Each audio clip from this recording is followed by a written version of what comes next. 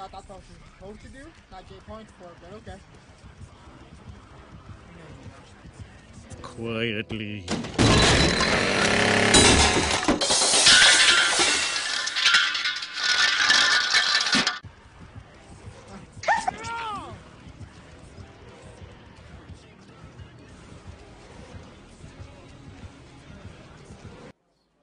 You want to hurt me? Go right ahead if it makes you feel any better. I'm an easy target. Yeah, you're right.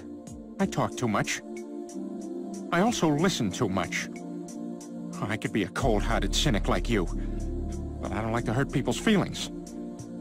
When you think what you want about me, I'm not changing. I like, I like me. My kids like me.